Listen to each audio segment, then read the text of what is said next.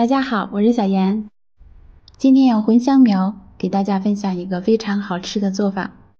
如果当成早餐的话，几分钟就上桌，做法简单又快速。一起跟着视频来看看吧。洗干净的茴香苗，晾干上面的水分，然后切成一公分左右的小段。切好以后，先放进盆里。向里面放入一小勺食盐，再打入三颗鸡蛋，用筷子搅拌均匀。拌匀以后，先备用。根据家里的人数，准备适量的手抓饼。这个是在超市买的现成的。电饼铛预热刷油。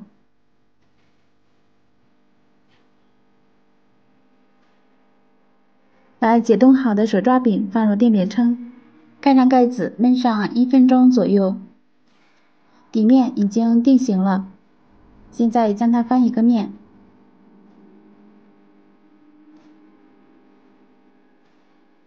翻过面来就可以把茴香苗放入上面，然后均匀的摊开。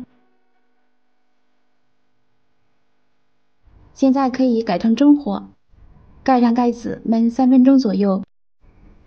时间到之后就打开盖子。现在的茴香苗比较嫩，基本上焖上三分钟就可以熟了，鸡蛋也凝固了，底面的手抓饼也变得焦黄酥脆了。现在将它对折，可以进行按压一下，现在就可以出锅了。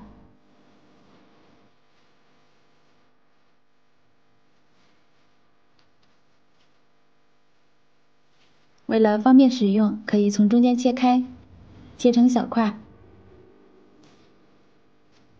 茴香苗这样做也不会掉馅儿，而且外皮儿焦香酥脆，里面满满的馅料，放入盘中就可以美美的享用了。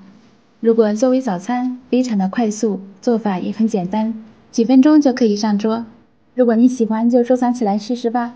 喜欢我的视频，请点赞、评论、留言、转发。谢谢支持，我们下一个视频再见。